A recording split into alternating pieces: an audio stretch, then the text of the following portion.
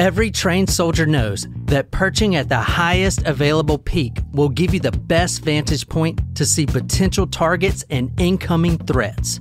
Not only does it give you the best position, but it also gives you a sense of godliness, where similar to Zeus, you can send lightning strikes down to the mortals below. This was the exact mindset of Charles Whitman, the 25 year old former Marine who held a vendetta against life itself. This Texas Tower shooter's motto may well have been When life gives you lemons. Grab a Remington 6mm Model 700 bolt action centerfire deer rifle and shoot everyone in sight.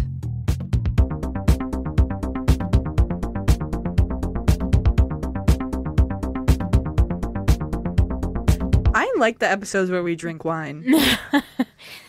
Some wine, some wine drunks. Yeah, Some wine remember the second episode? Yeah, Murder in Marple. That is one of my favorite It episodes. of really all time. still is, and I just remember drinking a whole bottle of wine. Surprise shots, surprise shots. We don't know what they are because they're a surprise.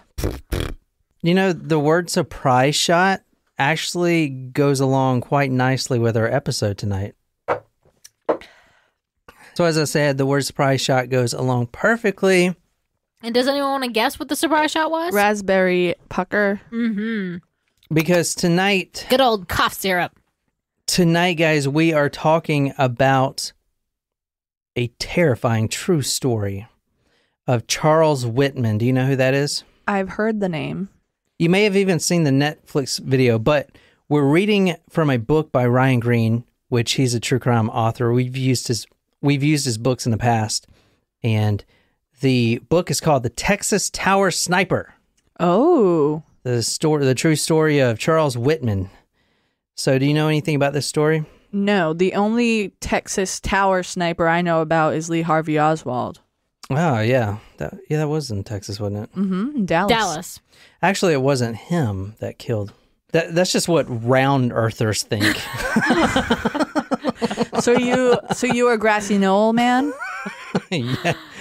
But he um he ac- is he the basketball player? Who? Who- Who's the basketball No, player that um, was that said he was a flat earther for a while? Kyrie Irving. Yeah, but no, Okay. he got on. I think it was Joe Rogan or something, and explained it was on that movie. It was in yeah, that social yeah. change movie. Kyrie Irving was he's the NBA NBA player who famously believed the Earth was flat for a while, Mhm. and um, in that social dilemma movie, he talked about how like he, he was watching videos on YouTube and he was you know kept on being recommended vid- like videos, and he went down the quote rabbit hole, and that's how he.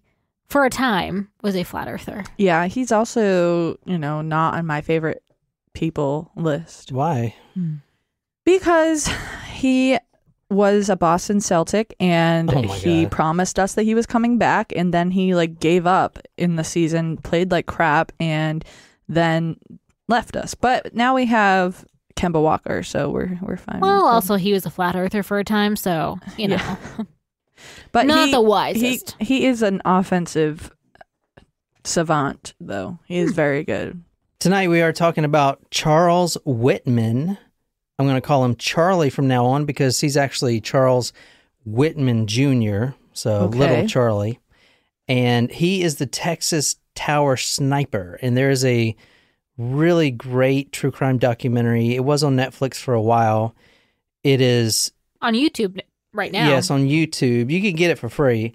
Some people have put it on there for free, but it is done in the style of old archival footage mixed with some sort of cartoonish animation. Oh, the animation one. Yeah. Yeah. Yeah. And it's really good because the animation uses the real sound clips from the actual day that this happened. Hmm. And it's really well done. And they use like actors for the cartoons, but then at the end they like bring in the actual people today. It's really, really well done. Yeah, it's a really good documentary. Really good. I remember hearing about it, and I don't remember if that's one that I saw. We, I know we talked about it at- once on the show. Yeah, so the book we're reading tonight is The Texas Tower Sniper by Ryan Green. True terrifying story of Charles Whitman. Ryan Green, he's written a lot of true crime books. We've used a few of his. I know the last one we used was a Sylvia Likens episode. Ah, So we're actually starting off at the incident, and Nicole did help me with the story, so she'll be chiming in. What exactly did you research for the story? I just watched the movie again. Oh, you watched the movie? Yeah. Yeah, because you are, you had already seen the movie before, Yes. so I thought, I mean, you might as well just watch it again. And that movie was mostly um, eyewitness testimony. Yes. So it's not um it actually does not talk hardly at all about the shooter. It's all about like the day and the people who were there that day either getting shot at or going to the scene. Hmm. Um and it's all about like them telling their their story. Interesting. Well, I guess you can start then, since we're actually, I want to start there at the university, the tower. the only thing that I ha- studied or researched was from this documentary, which was so well done. I highly recommend it. It's called The Tower or Tower, and it came out um, in 2016. Um, and so it's all about the accounts from that day. So the story actually starts off with Claire Wilson, who um, it talks about her story, and there's an actress playing her in the animation and her voice and the animation's based off the actress but it, it it's like it's hard to explain but it's really well done um, so she gets out of anthropology class early that day after taking a test. So i'm assuming it's summer semester because august 1st would be a little early for the fall semester to start. Um, she gets out of class early that day after taking a test and she gets a coffee at the student union with her boyfriend tom. They as they were sitting at the student union they realized that they knew they had to put a nickel in the meter to avoid getting a pink slip on the car Okay. like a ticket. Hmm and they already had two pink slips on the car and if you get a third there was some rule that you wouldn't be able to park on campus anymore. So they're like oh we got to go put an- another nickel in the meter. That's like the time when I was in college and I was on crutches because I got hurt playing um, ultimate frisbee and I was in the handicap part of the parking, like right outside of my building because I was on crutches and um, there's so many good things with this story you were playing ultimate frisbee you were on crutches I got and- hurt and they gave me a ticket. wait you were parked in the handicap but you didn't have a handicap pass No, because I was it was right outside my building. I was only bringing something upstairs to my. Oh, whoopsie!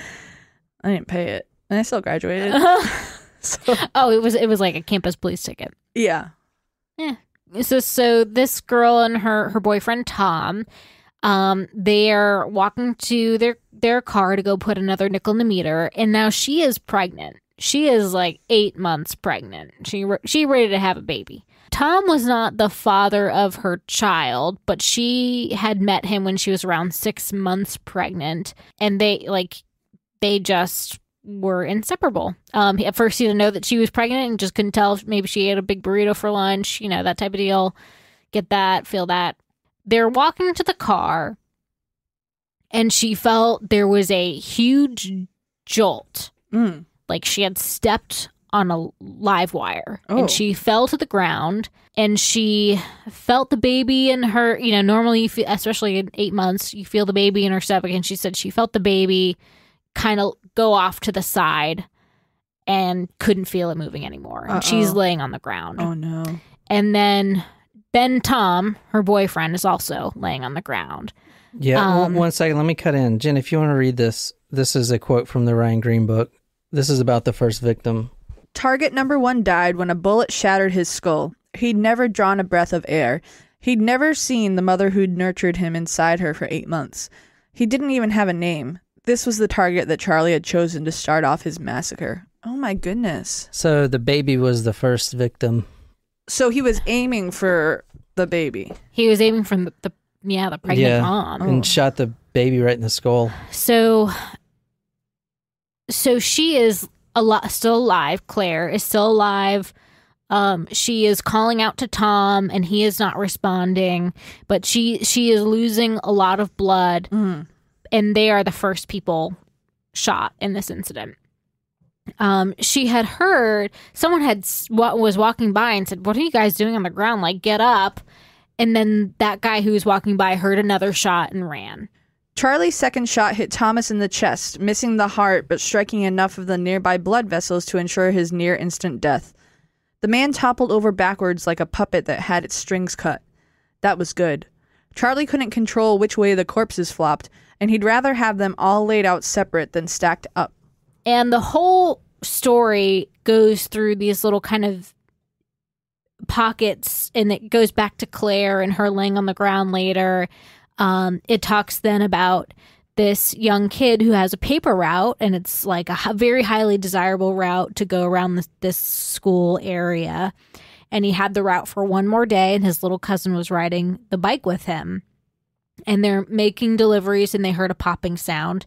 They're riding through the university and then he's shot. Mm. He's a kid riding a, his bike on the paper route. Can I interject? What was Charlie's relation to the te- Texas University? That's a really good question. I was actually going to get you to guess. Do you want to take a guess why he chose that? Was he a rejected student? Well, what's your j- what's your guess? Well, I was gonna say maybe yeah, either a rejected student or someone who like couldn't graduate or had a his had, an- ex girlfriend that went there or something. That, that's a really good guess. He's actually a current, or he was a current student. Oh, he wow. actually had a test that day. Oh, It was a Monday, and I'll t- and we'll go into the whole day before and the morning of. It's kind of like he planned it, but most of the stuff he did was very last minute. Mm. But no one knows why he chose a Monday. It may have just been because it was a Monday, you know, and he wanted to start things off on a Monday. Who just knows? another manic Monday. Yeah, but yeah, um, Wish it was. yeah. So he was a student there. He's from Florida, and I'll get into that. Huh. But yeah, he was a current student there. How old was he? Twenty five. Hmm.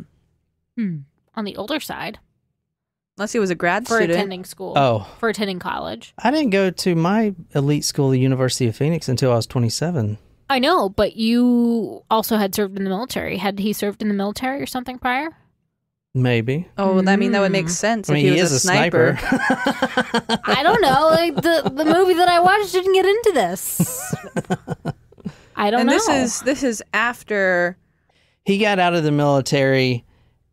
It was like the start of uh, Vietnam. So, So, but this is not a long time. Well, ha- a couple of years after Kennedy was shot, as well. mm, I don't know when Kennedy was shot. Sixty three, November. The Vietnam War started November 1st, 1955. So he was already out of the military, and we'll get into that. Hmm. But this was during the Vietnam War. And just like a lot of veterans, and I know this from personal experience, just because I've seen a lot of the veterans like this, a lot of the veterans come, become pacifist after they get out of the service. Mm. And that's what he was too. That's not the reason he did this, but he was a pacifist. well, know- that's odd that he is a pacifist. You know, well, a pacifist, not not like uh, anti-war. anti-war. I shouldn't say pacifist. Well, I mean, at that time they were still being drafted as well. Well, the so- Vietnam Yeah. it was different. The Vietnam War was it wasn't our war. You know, Right. I, I guess I It was mean, a conflict that we weren't originally involved Yeah. in, which You can um, say a lot about today too, but it wasn't like World War II, which Right. was if we don't join this war, then we're we'll be speaking freaking Russian or Japanese right. or German. And um, I I want to make a recommendation. I don't know if you guys have watched it yet, but the Chicago Seven. It's on Netflix right now. It's about um, seven anti-war activists in, in the the riots in Chicago and the the court case. They were indicted, and there was a federal court case about them um, a, a con- them having cons- a conspiracy to start riots in Chicago at the Democratic National Convention. And I watched it last night. It was very well done. I I, I liked it a lot. For the. Vietnam War? mm-hmm. It was it took takes place in 1968 because it was right after Nixon won the presidency. Huh. But I mean, yeah, the Vietnam War. It's a very interesting, um, very interesting conflict for sure. My dad fought in it. Um, Yeah, I've never really studied it. I used to work with some guys that flew helicopters in it, but that's Oh, I guess like your dad, did. yeah. yeah. and those guys were a trip. And so now the news is starting to pick up on the reports that someone's shooting from the tower. there was a police officer, I think his name was McCoy, who was skipping rocks at some water when he heard the call on the radio, all units to the towers. Um, most people listening thought it was firecrackers, which reminds me a lot of the the Vegas shooter episode that we yeah. covered. hmm So someone shooting from the tower. The civilians who were hearing this were warned to stay away, but some kids are curious and they're like, "Let's go see what's happening." Yeah. And I, when I say kids, I mean they're probably in their you know twenties and things like that, So students. or and not even people from on campus, Oh. but people off campus. They're like going towards the scene. Um, so shots are being fired, not just on the campus lawn. So the tower, they have like a, they call it the mall, right? Mm-hmm. And so the f- gunman's not just shooting kids on the lawn, but he is shooting at windows from across that are across the street from the lawn, like people in the co-op building across the way, the barber shop. Like he's shooting so he's just- way far. Just shooting to shoot. He doesn't have. he's not just like spraying bullets, but he is shooting at people Anyone. and Mhm. anyone.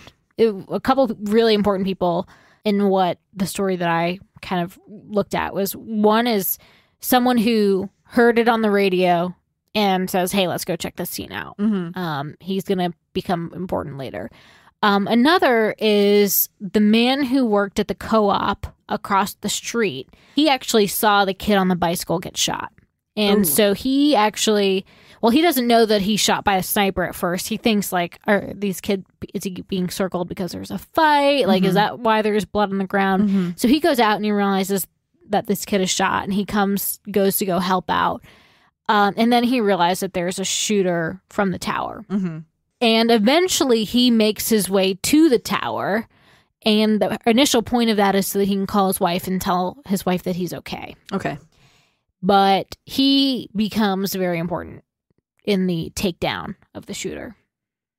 And he's not a cop. He's just a kid. He is no, this is so there's a store owner, the store what the store worker at um the co-op is the is one of the people who take down the shooter.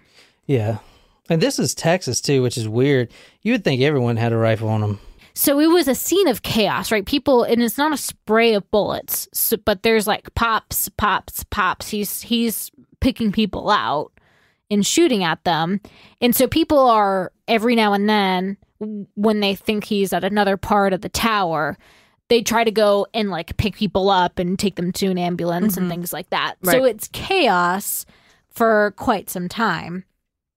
And so that's how this the co-op store worker eventually makes it to the base of the tower. And the police officer McCoy, he eventually makes it to the base of the tower. And there was a couple of students who um once McCoy gets to the campus who have rifles, they've got some big weapons and they start shooting at the sniper too. But they never really got a good vantage point. Officer Martinez also gets the call and makes his way towards uh towards the University of Texas in Mhm. Austin. Meanwhile, so the news reports are going, a single engine small plane f- flies by and they try to get a shot at the sniper so they can take him down. They can't get a good shot.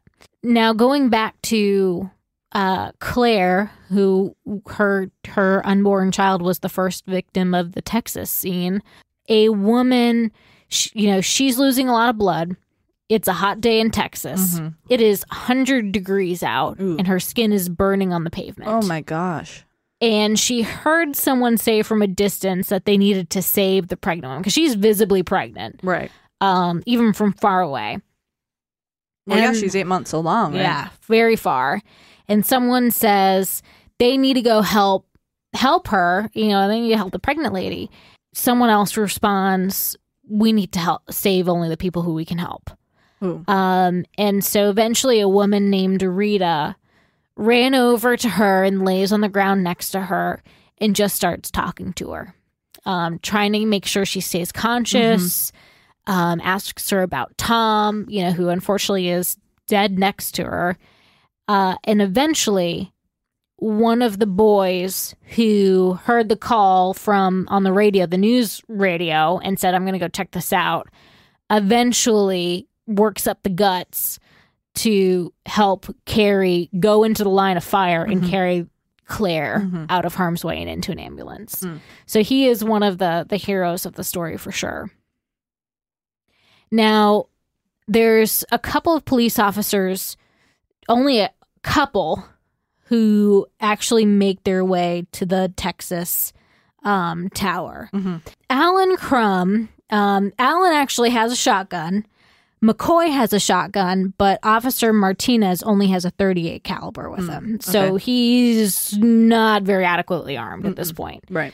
So they're the sniper's already shooting for a good hour and a half at this point. hmm And they make their way to the tower. They climb up the stairs, and this is where they find even more victims um, that are dead in the f- first floors of the tower. So Allen Crum, again, he is the co-op worker who was only going to go into the building to call his wife. hmm He's got his gun with him though. Martinez actually originally thought that he was just an unclothed policeman Uh huh. and they're they're climbing up to the tower. At first it's just the two of them and Allen says to Martinez, "You better deputize me if we're going to go in here and do this." And he's like, "Oh shit, I thought you were a p- cop. All right. Yep, I, I, I I'll deputize you or whatever." So they're they're ready to go and McCoy then gets there. So it's three guys and Martinez again, he's woefully inadequate with the, only his 38 caliber. hmm So they make their way to the third or the the top floor of the tower. And one of them, I think it was Crum, the non-police officer. Um, they start to fan out and one of them shoots into a wall to like divert the attention hmm of the shooter. Right. And Martinez then turns the corner and he empties the his entire barrel of his 38 at the sh- sniper. hmm Did he hit him? He hits him. He empties his entire barrel. He just shoots. He's like, "Holy shit, this is it." I mean, he is. A, they're all young police officers at Right. this point. He empties his barrel, and McCoy, the other police officer, is behind him. He just grabs McCoy's shotgun from him, shoots him with the shotgun as the sniper is falling to the ground, Mhm. just to be sure that he kills him with a much more sturdy gun. Right. And from there, it's over. They've killed him, and Allen Crum is waving like his handkerchief so that they know um, Not to shoot him. not to shoot. Now, at first, the, the news reports say it is the sniper that's like waving his flag, but then Mhm. they realized that it was actually police because they they could hear multiple gunshots coming from upstairs in the Mhm. tower. hmm So this is the photo of him being shot, Oh my goodness. Whitman dead on the tower. And I'll put that on talkmurder.com. So if you guys want to see that, be sure to go to talkmurder.com. The documentary was a very powerful story of like people coming together and the goodness of what people can do in such a tragic Mhm. situation.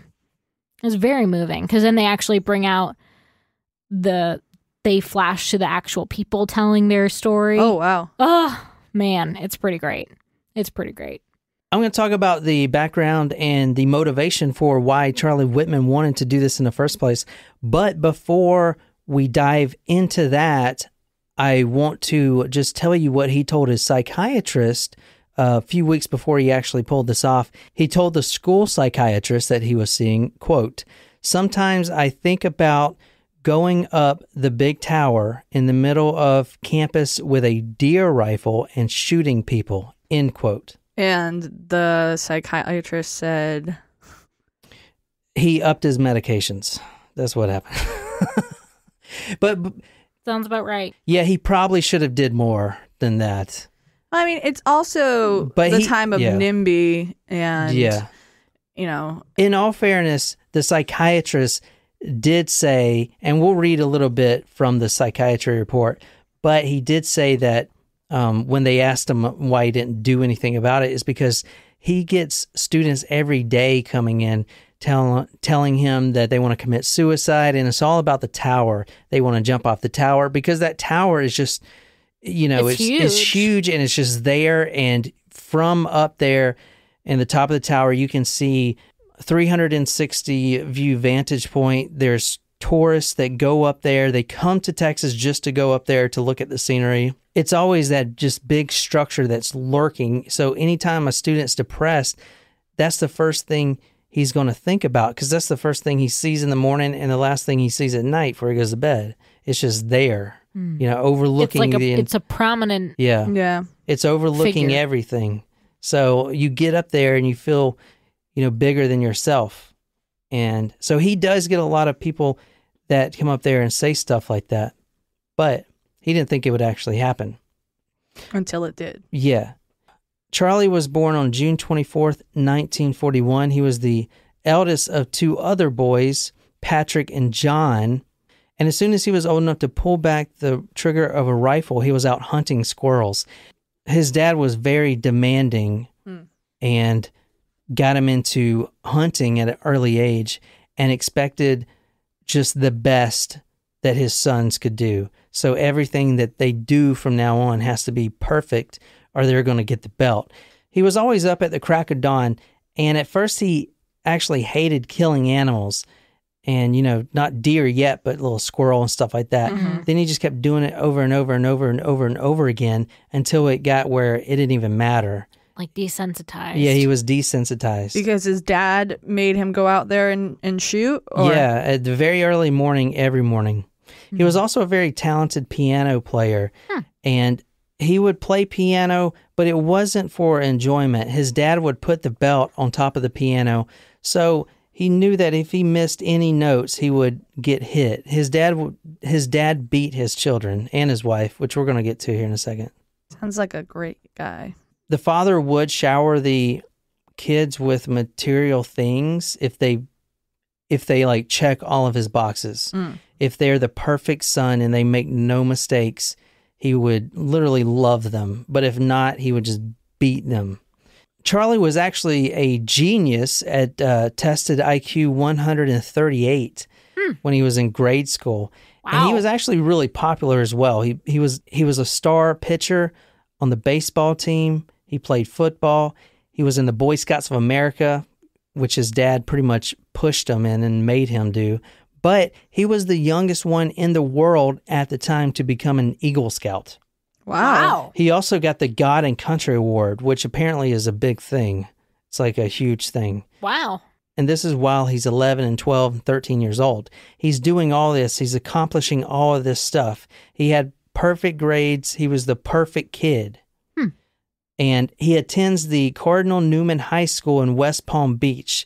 The family lives in Florida, in, in the West Palm Beach area in Okay. Florida. Mm-hmm. And the dad is a businessman. He's actually a self contracted plumber, but you know, he considers himself a businessman. I guess he does own his own business, but you know, everything was good for Charlie if he was living the outline that his dad had laid out for him, and he had to be doing everything to a T. You know, his dad wanted him to go to a certain college in Florida. His dad wanted him to go to business school, and that was his path. He was going to do that. And remember, he's the oldest son. The father did not accept any mistakes at all. He strived for perfection at all times. And he was also a, a wife beater. Mm. So Charlie's mom, and she'll come up later in the episode, but she received a lot of the abuse at home. Mm. This is from the Ryan Green book. He took note of Margaret's failings long before he saw fault in his sons, and he applied what he considered to be a very reasonable amount of corrective discipline.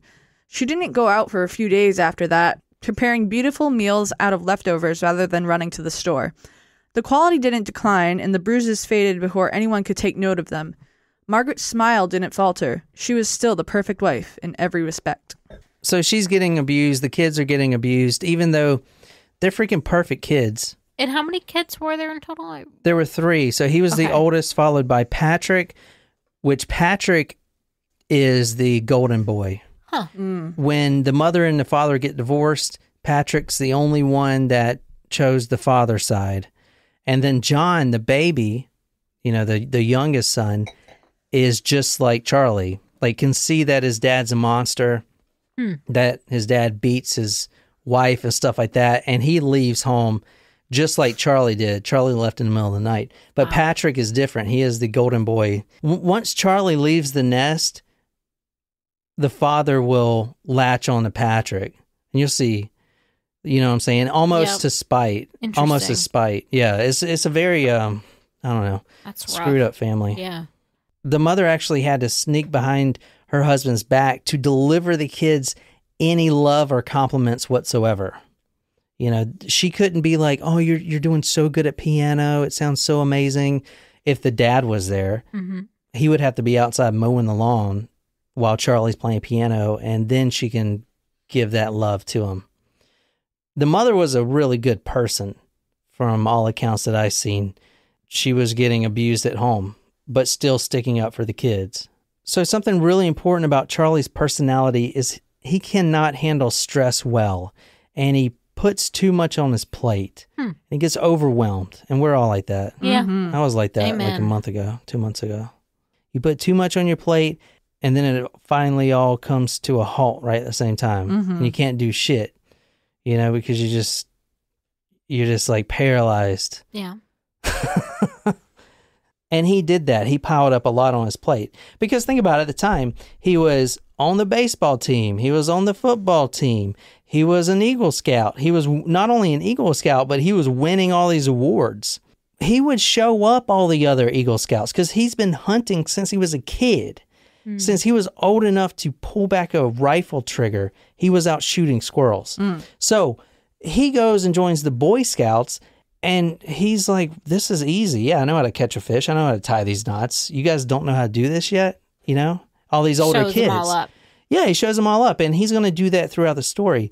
But he was putting so much on his plate, even in grade school. You know, he had to get the best grades, he had to do all this stuff. He can handle the pressure well until it all just overwhelms him at the same time. And that's what happened right before this. It was another instance where it just overwhelmed him and he snapped, but this time he he took it out on all these innocent students and, you know, passerbys. This will explain the family dynamic perfectly. It was his 18th birthday, and like all of us sitting at this table, we got drunk as shit on our 18th birthday. Mm, that was 21st birthday. yeah, I don't know about that.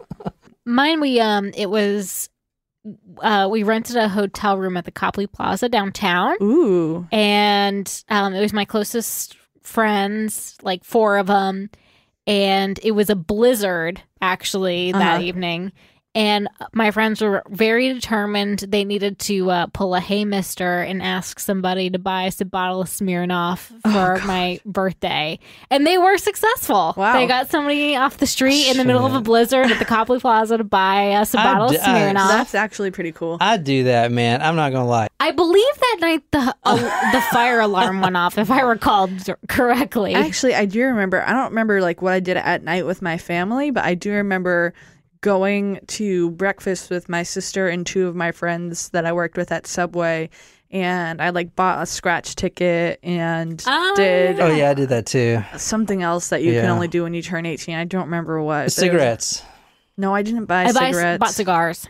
Charlie's 18th birthday, this will tell you a little bit about how the dad is. He gets drunk, Charlie does, and he goes to a party. Now, Charlie is extremely popular. Not like John Perry popular. No, it wasn't that popular. I was popular because I had an older brother that was cool.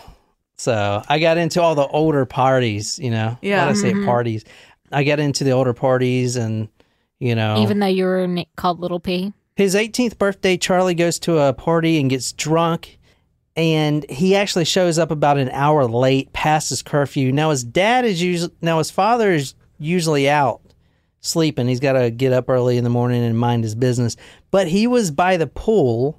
So the father was out by the pool sitting on one of the pool chairs and the son comes walking back up smelling like beer, wobbling, and the father immediately stands up and this is what happens. This is from the book from Ryan Green. If you want to read this.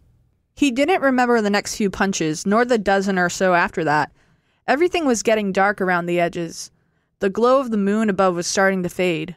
Once he was down on his knees, he thought it would be over. But then Charles Sr. kicked him in the ribs and knocked what was left of the air out of his lungs. He lay there gasping hopelessly while his father looked down on him in absolute sneering disgust. Then that same boot lashed out again and tumbled him into the pool. He kicks him in the pool. Now Charlie is unconscious at the time, and the father leaves him out there to drown Oh, that's in nice. the pool. And this is like one in the morning, two in the morning. And Charlie, as soon as he hits the bottom of the pool, he actually hits his head on the metal ladder Ooh. to climb up the pole, and that kind of wakes him up enough to notice that he is drowning and sucking in water in his lungs, and he crawls out barely. He almost died. The dad wasn't even out side when he does get out of the pool. He had already went to bed. Like he knew his son toppled over in the pool and just left. So that's the dad for you. So this was kind of the last straw. Now Charlie's been wanting to leave, and this was definitely the last straw. There's only one problem, and he'll think about this more later. But right now, he's just got to get out of the house. If he leaves, then the mother is going to get even more abuse because the eldest son, who was under the control of the complete and domineering father, is now saying, I don't need you. I'm out. Mm-hmm. You know, not only that, but he's breaking that plan that the father's laid out for him the college and the business school and the work for yourself, all that that the father has laid out for him. He just says, screw it. And he, one night, walks out. He packs a few things. This was July 6th, 1959, is when he signed his name to the Marine Corps. He basically mm-hmm. goes to the recruiting office and says, sign me up right now. And back then, they would pretty much, I mean, they'll take anyone. Okay. Yeah. They still will. No, what I'm trying to say is, Well, now you have to have a certain score on the ASVAB. yeah. So, Really? but Yeah. back then, you could go to the recruiting office and then that evening be on a bus to Parris Basic. Island or wherever. Yeah, basic training wherever you're going. Mm. Obviously, it's not like that now. I No. can't go to a recruiting office and then be on a bus because I got to take the ASVAB and all that. What's the stuff. ASVAB? It's a placement test essentially. They what they do is they score you and each branch has a minimum score that you have to reach and it kind of tells you what kind of jobs you qualify to do in hmm. The Interesting. branch. I thought about joining the reserves briefly last week. What? Why? Last week you thought about this. What the fuck? I don't know. like I thought you were going to say talking like about- when you were 18, when you were having your drunken birthday moment. No, no, no. Well, I did think about going into the army when I was younger. You don't Um, want to do Cadet that. Kelly, yes. Cadet we've Kelly. discussed. Yes. No, I and then last week we were talking about ASVAB and what um and If anything, be a cop. Well, like I'm not going to do it. Brooklyn I, 99. Yes. I'm not going to do it. I'm just saying I was like, well, I could do the reserves maybe. Like then I'd have to exercise and like also get paid. Maybe they'd forgive my loans. Like there are benefits, but I was Once like, no, a- too much, too much, Jen. You're First putting too much on your plate. First weekend of every month, you got to go to. Yeah, until you got to go to something? freaking Afghanistan for 13 to 16 Yeah. months. Yeah, that wouldn't be good. Yeah, no. I mean, it was one with that. weekend a month. That Or isn't it, really it the could case. be like South Korea, or based on the current state and of the things. the um the reserves, man, they go over there forever. They'll Yeah. stay over there for like two years. It's two years of your life. Yeah, We'll be rich and famous by the time you get back. He's on the bus that evening to go to his basic training, and his father finds out and tries to contact the federal government Mm. to get his son back because he's a you know businessman. He's helped the community out and all this stuff. He's like, you guys need to send my son back, and they wouldn't. They're like, you know, he's an adult. He signed his name, and he's in the Marines. He's ours. And he was actually a fantastic, fantastic marksman. Obviously, I mean, he's a you know sharpshooter. Mm. Yeah, So he's been hunting all his life. they do a different test than we do. We have forty targets to shoot, or at least mm-hmm. when I was in Yeah. and then your rank would be based on how many of those targets you shoot. Theirs are a little different, but they still classify him as a sharpshooter, which, you know, is still the majority of targets. So I asked Jen earlier why he decided in Texas, and this is the reason. He's such a great shooter and a good soldier mm-hmm. because think about it. He has been abused, and not only that, but he is waking up at 4:35 o'clock in the morning every morning since he was a child. He was hunting before school. He was in the Boy Scouts, the Eagle Scouts. He was abused at home. He was beat violently, punched over and over by his father. Basic training's a cakewalk to someone like that. Right. That's nothing compared to what he went through. So he was a fantastic soldier, or I guess they don't call him soldiers, Marine. He was a fantastic Marine. So the Marine Corps gave him an opportunity of a lifetime, and that was to go to officer training school. Ah, But the only that's a big deal. yeah, is. it's a really big deal. But to be an officer, you need college. And so they gave him a fantastic offer here. They said they'll pay for his college. I mean, I know they do that, but it's hard to to get this program if you're already active duty. So he is active duty serving his time. And they told him that he can, while he's active duty, go to college full time, be a full time student. And that's his job. Wow. It's yeah, there's To have that component to it is Yeah. I very unusual. yeah, there was. I only knew one guy that that happened to in the army. He was, he literally didn't even show up to formation anymore. He was just a student. You know that happened to like us. Like I went to like a three week and four week course where we didn't have to show up, but I'm talking about four years. They sent him to college for four years. That counted towards his active duty. Yeah, wow. That's must be unusual. nice. Yeah, yeah, Because My cousin did the uh, uh, the officer training school after he enlisted. I think it counted towards his time. So- I, I don't know. I didn't see that. normally though, isn't it you you enlist, you go to school, and then you have to pay the army back four years? Not pay him back financially, but like with four years of service, isn't that how it works? Yeah, Um, yeah. If you go straight into school, Right. But usually Yes. you can't go sign up because you sign up enlisted, which is what he did.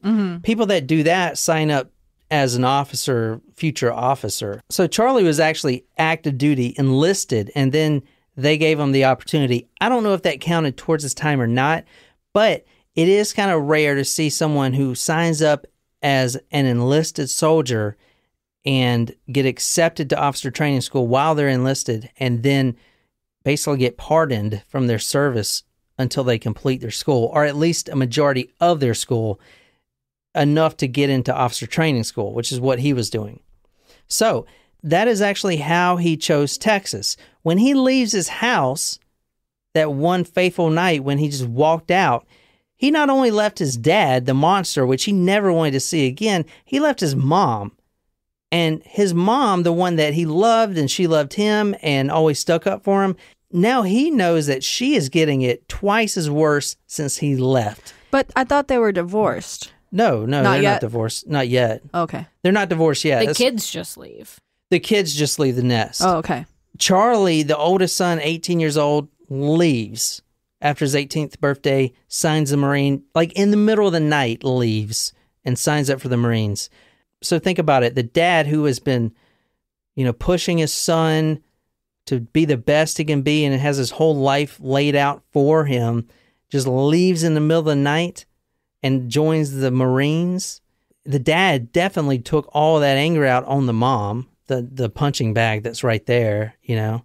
Now this is kind of when he starts feeling like he shouldn't have just left because his mom is now getting beaten Mm-hmm. even worse than before. And this is the reason he chooses Texas because he wanted to go to California to get away from that monster. The farthest he can go in the Marine Corps to get away from that monster at home, his father, the one that beats him, is in California. But he also wants to be somewhere where he's accessible to his mother if she gets beaten so bad one night and he needs to come home. So that's when he decides Texas, right in the middle of where he wants to be, farthest away from the monster and close enough to his mother that he could still come home on holidays and stuff and kind of you know make sure everything is okay. That's how he decided texas. Now this is very important because if you haven't seen the texas tower that we're talking about the one he got up um, i'll put in a picture on talkmurder.com or you can just google it it's a very commanding looking tower so that's the campus around it and the campus is in this tower Okay. as well, and then the campus buildings around there. mm-hmm. So the tower, what you're looking at now, is very like when you go to the University of Texas, like that's what you see. Mm-hmm. You know what I'm saying? So like, but it's kind of like this the, is a, is a better picture of it. okay. The first thing you do is see that tower. It it encompasses everything in the university. Does that make sense? Yeah, it's kind of like the bell um the bell tower at Quinnipiac. Like we have a bell clock by the library. Yeah, it is and a that's clock first- tower. Yeah. Clock tower, yeah. Yeah. Yeah, clock tower. But so we can't we could never go up it. in September 1961, that was his first day of college. He was going for mechanical engineering, you know, with the It Marines. was his first day. The first day, yeah. In ni- 1961, not oh, oh, oh, sorry. I thought you were saying it the day he shot up the school. No. So this was no, this was five years before Got the sh- shooting up. So September 1961 is the first day he walks into the University of Texas on the campus and sees the tower. Five years later, August 1966, he'll be on that tower shooting the life out of anyone that he can see. Since then, he has been up on that tower numerous times. He's always up there. It's, I mean, all the students go up there and tourists go up there. People touring the campus, people new to Austin, they all go up there to look around. You know, it's a tourist attraction. So if you want to read this, this is from Ryan Green's book. When his cohorts noticed Charlie staring up at it like a tourist, they started to poke fun at him. But his response came back to that military mindset once again. A single man could hold off an army from up there. Hmm. I mean, it's true. That's the first thing I would think too when I went up there. It's the first thing I think about when I see that. Because you always want to be on the top of the anthill, you know? Not me. I had a really bad run in with some ants this past summer, so I am going to stay as far away from ant hills as possible. I still have scars on my feet. So at school, he meets his future wife, Kathleen Leissner. She's a trainee school teacher. Her father is very wealthy, and the father is paying for anything his daughter wants to do. You want to go be a teacher? You want to be an artist? Whatever, I'll pay for it. You're just my little Princess. princess. They soon get married, and that's when it really, really hits them that Charlie's mother, because the mother and dad came to the wedding, they didn't want to be there. The dad didn't want to be there, you can tell. And then they leave early. They didn't pay for anything. It was just like, oh, yeah, here's your wife. You know, I got to go or whatever, you know. So that's when he really started saying, oh my God, you know, my mom is getting beaten at home hmm. like crazy. This is the point where she's not even defending herself anymore. She's letting it happen. Yikes. So that's how bad it is. Six months after Charlie marries Kathleen, they start having problems. And that's when he first hits her. Ooh. So here's what happens he's back in school, and the stress is piling up again. He's now married. You know, he's got to keep his grades up. He wants to get a part time job, stuff like that. So it starts piling up. He hits her from here on out. It's the road of abuse, obviously. And the first time he does it, you know, he's like, "Oh my god, I'm becoming the monster of the the monster dad that, you know, raised me." Mm. His grades start going downhill, and they get so bad, which is like a C, which is great for me. But if you're getting paid C's get degrees. yeah. he starts getting C's, C average student. The Marines don't like that. They cancel that program for him. They're like, you, you know, you failed. Because he has to, if you're, if the Marines are paying for it, you, You, gotta, gotta, like maintain a certain Yeah. grade. an honor student, like B or an A. Yeah. Again, if you fall below that, then you're done, mm-hmm. son. So he was done, son. Now his wife is in Texas. They're living together in Texas. They're newly married. She's a teacher, like an assistant teacher, bringing in a little money, you know. And now he gets sent back to North Carolina and Camp Lejeune after he fails out of college. Mm-hmm. You know, his grades get so low that the Marines snatch him back out. Not only that, he's no longer going to officer school. Oh no. So you can Yikes. kind you can start to see the down downward spiral, right? Yeah. Now he only comes and sees his wife on holiday. So he comes back to Texas to see his wife. So the whole time he's thinking, "Oh my god, maybe she's cheating on me, maybe she's thinking that, you know, why did she marry a guy like me?" Cuz they're brand new engaged Right. and married. They clearly didn't know each other for very long. yeah, they didn't know each other for very long. I feel like that was a thing back then. They didn't. Get married fast. Yeah. Yeah. Charlie's very self conscious and he puts a lot on himself. Well, yeah, because his whole life he was m- made to live up to his father's expectations. So when he gets back to the Marines, he starts noticing that he has no motivation. He doesn't want to be that Star Marine anymore. He could care less. His life sucks and he just wants to get out. He also wanted to start making a little more money so he can go visit his wife more often, and he found gambling. Oh, And he liked gambling a lot, but what he liked more was actually loan sharking the other Marines money to gamble with. And someone had owed him, it was like $15, like a very small sum. Mm-hmm. But Charlie thought he was going to go bully this guy because he hasn't been paid yet. Like he's some sort of, you know, loan shark, like the mafia shark or whatever. You know what I'm saying? Like the Russian, the Russian guy from Limitless. yeah. So he was going to go bully this guy, and he pulls out a 25 caliber pistol, which is not registered to him on the base. You can't just have a pistol if it's not registered. Right. And he pulls it out and threatens this guy with him. He gets a court martial for that. He was arrested and he was busted back down to private. Oof. So things are going way downhill. Yikes, Yeah. son. Things ain't looking good for you. So exactly. I mean, this was a star Marine, and now he has just failed out of college. You know, and in the back of his mind, it's not so much that all this is happening, is the fact that he thinks that his father was right all along. Mm. You know, if I, if I wouldn't have ran away from home, if I would have did his plan, you know, I would have had a happy life. He just doesn't want to face that fact that life just sucks sometimes Yeah. he finally gets out of the Marines, moves back to Texas, and things are going good for a little bit. But then in February 1966, which is six months before, mm-hmm. the mother calls the son on the phone and says, I'm ready. I'm ready to go. I got my stuff packed. My bags Wow. are packed. Come get me and drive me back to Texas. Okay. So now he's taking care of the mom Oh, too. no. And the the father I mean think about the father. Okay. He's had complete control over this family. He made all the money and all this stuff. Now Charlie gets out of the Marines and his wife is the breadwinner because this guy is I mean for instance he's a uh, an admin guy at Central Freight Lines. He's got a part-time job as a surveyor. He's a bill collector, like one of those people that come up. You, you know what do they say? You've been served. Oh yeah. Yeah, Oh, one of oh, those oh. guys. Yeah, Like in Pineapple Express. yeah. So he's doing these menial, just awful jobs. His wife is making all the money. Not only that, the mother now comes down and he's got to get an apartment for his mother.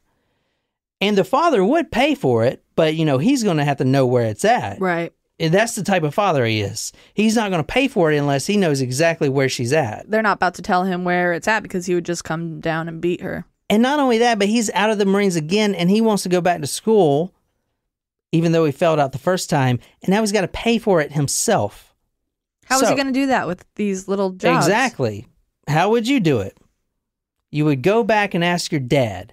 So you see, the dad is just completely winning Hmm. life right now because everything in Charlie's life, he just wanted to get away from it. But then he finally realizes he can never get away from it.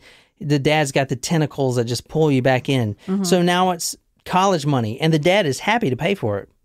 Very happy 'Cause he's in he- control. He gets some more yeah. control. Yeah. Not only that, but he wanted to change his major from mechanical engineering to architecture, Mm. which this guy doesn't even draw. He's not even an artist. And the dad was It's quite the leap. the dad, if it was in uh, any other circumstance, he would have blown up. Yeah. You know, hit his wife, punched him. But now he's got that extra control over his family again. So he's like, sure, I can pay for it. All along, this guy's just getting more in burdened and in debt to his father. You, you see how it's Yeah. like he's in this hole that he can't get out of. So around that point, now this is right leading up to the murder, he goes and visits a psychiatrist, and the psychiatrist gives him Dexedrine, which are barbiturates, and back then they were called goofballs. Oh. And eventually he starts taking Valium. So he gets energy to focus during the day, but then this guy's got a rage problem. And the psychiatrist noted that he's got a very violent streak, a rage problem. So he gave him Valium to calm him down. Hmm. It's the worst combination. Also, around this time, he started writing notes to himself. He would write these little sticky notes and leave them everywhere. For instance, some of the notes would say, Stop procrastinating, control your anger, smile, it's contagious, don't be belligerent, stop cursing, improve your vocabulary, approach a pot of gold with exceptional calls. These sound like notes I need to write myself. These seem like valuable life lessons. Yeah. a lot of the notes revolved around kind of in a subtle way not to beat your wife Hmm. you know control your anger you know think before you act Yeah. basically don't hit your wife and you can tell he uh hated the fact that he hit his wife Hmm. um like one of them says be gentle in all caps Well, it's kind of sad. yeah. But Yeah. at least he's trying. I know until he snapped. Apparently. The psychiatrist wrote that there's no signs of psychosis. Now, I want to say I'm putting all these sources the psychiatrist's notes, his diary entries, because he wrote in a diary and everything else. I'm putting all those sources on talkmurder.com. Be sure to go there. There is a labyrinth of information there if you want to dive deeper in this case. The psychiatrist wrote that there was no signs of psychosis, but he did say that, quote, sometimes I think about going up the big tower in the middle of campus with a deer rifle and shooting people. It's so interesting that that nothing was done at that point because if something like that was mm-hmm. said today and the psychiatrist did nothing, they could be found liable. Yeah. Hmm. The psychiatrist also noted that he had hypergraphia. You want to guess what that is? Something to do with the writing. Yeah, the uncontrollable impulse to write, hmm. which I think Stephen King has that. Alexander Hamilton probably had that. Yeah, because he wrote all the Federalist Papers. Mm-hmm. Around this time, he maps out his plan. Now, his plan is sloppily carried out, which we'll talk about here in a second. But there's a few things he couldn't leave. For for instance, he can't leave his wife. Did they have any kids? No, they didn't have any kids, but he can't leave his wife feeling that, you know, she may have been the problem that caused this or anything. So, if you want to read this, this is from the book. There were logical reasons why Charlie couldn't simply kill himself. Margaret would fall back into the arms of Charles Sr. if he were taken out of the picture, and while Kathy would be well taken care of by her parents, he would still be annihilating the version of her that lived here and now with him. He could only imagine the grief that she'd feel if she found out he'd ended it all. She might try to follow him into the dark. Either way, it would break her, and he couldn't bear the thought of her broken. So the day before, he drives to his mother's house in the penthouse apartments, and he actually types this note before he leaves. I don't quite understand what compels me to type this letter. Perhaps it is to leave some vague reason for the actions I have recently performed.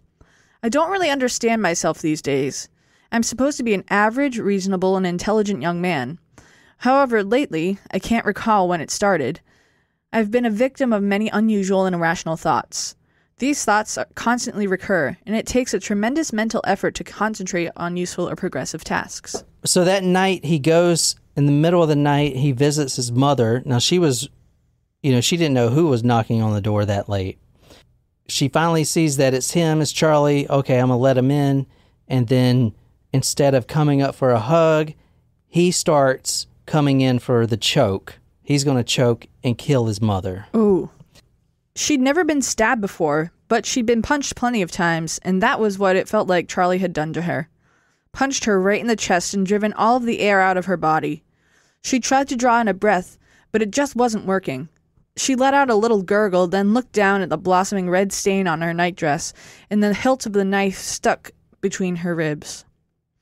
She fell to her knees, all power in her body fleeing in the rush of blood. Charlie made no attempt to meet her eyes as he tugged the knife out of her chest. The time for emotional connection was long gone. He was cold now, cold in a way that she'd never seen him. So he can't just kill himself. He's got to kill his mom because because if he kills himself, the mom is just going to go back to the dad, and he can't let that happen.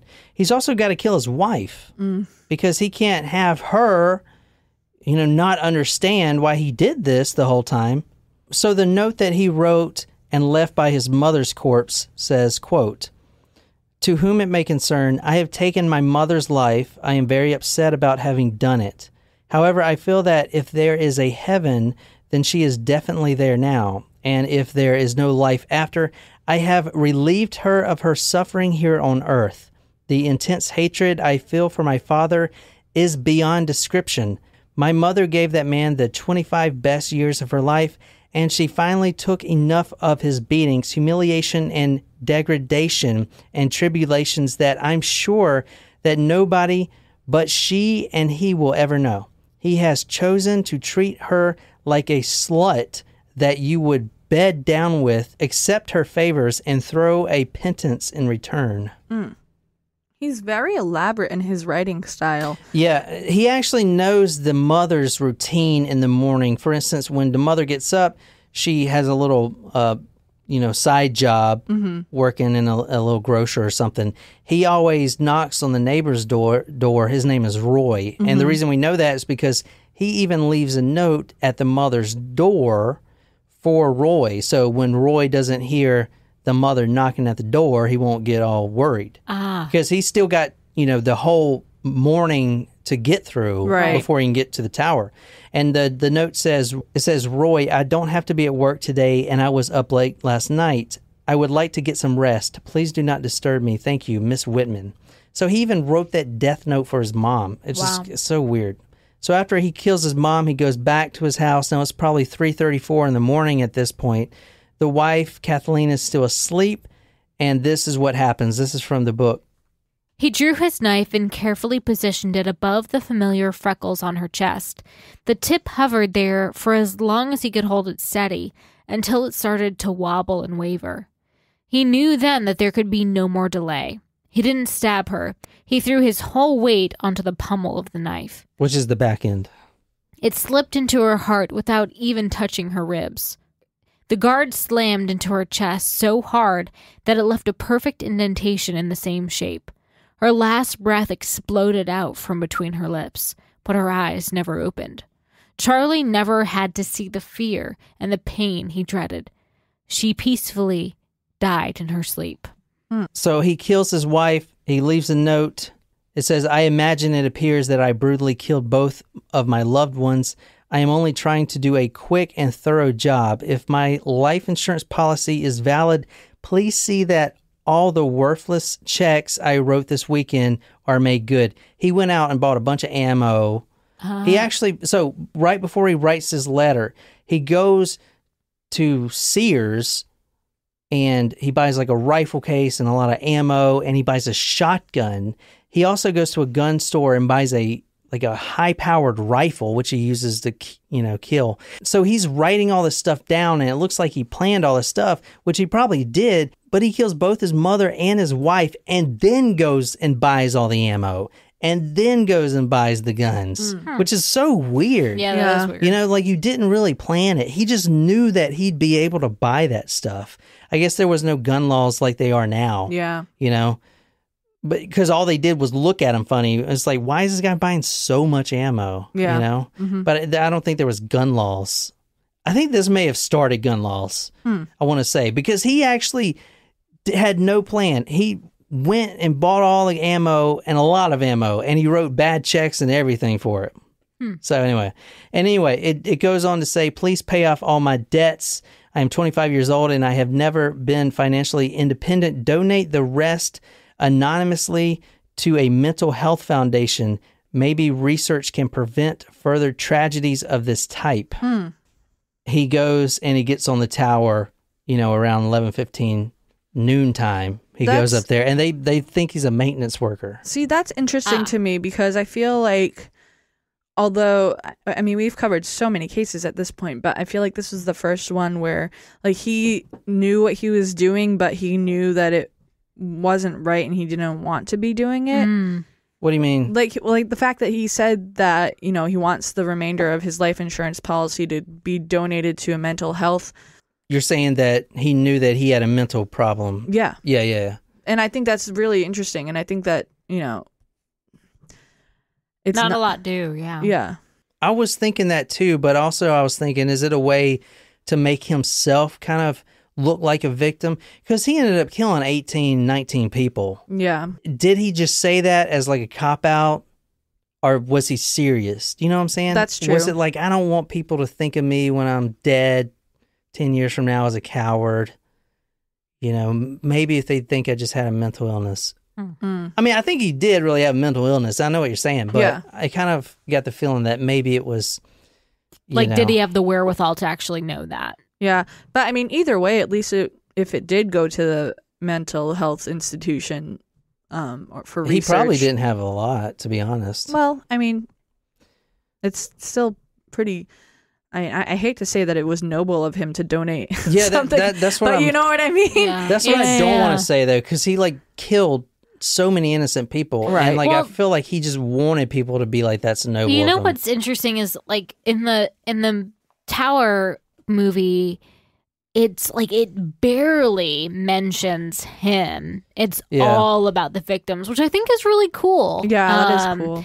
That it's it's only about the the goodness and the I mean a, a lot of tragedy, but the the community co- trying to come together take this guy down. Yeah. Yeah, it's a different take. Totally it's a really good different movie. I'll put the YouTube, the free video, which is the full video, but you know, someone just uploaded it to their account or whatever. So it may not be up there for long. yeah, but I'll put that on talkmurder.com so you don't have to buy it because it was on Netflix for free and then they took it off. But you definitely want to see that movie. But I think it'd be a good complement to each other once you hear the backstory and because it, it'd go together. Because like Nicole said, it doesn't. The movie doesn't talk anything about this guy at all. No.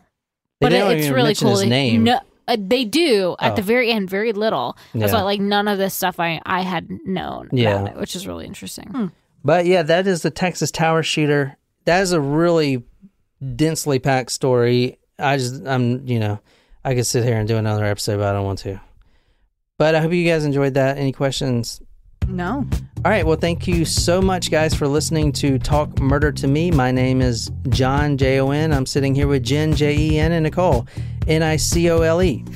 And No H, Uh, assholes. and until next time, good night, you lovely, lovely people.